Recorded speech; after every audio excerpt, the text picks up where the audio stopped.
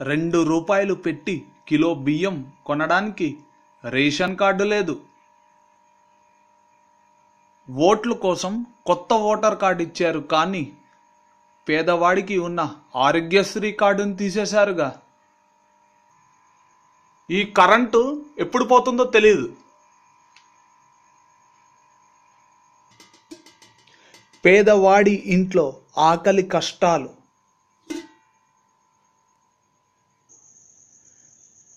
హరితహారం అంటున్నారు కానీ ఉన్న చెట్లని నరికేస్తున్నారు. సరైన రోడ్లు లేని వీధి దీపాలు లేని రోడ్లు గల్లీలు.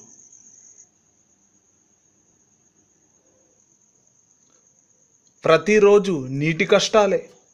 ట్యాప్ ఎన్నిసార్లు తిప్పినా నీరు రాదు. ప్రజలకు సదుపాయాలు లేవు కానీ ఎలక్షన్ల కోసం వేల కోట్లు ఖర్చు. ఇలా ప్రచారానికి ఖర్చు.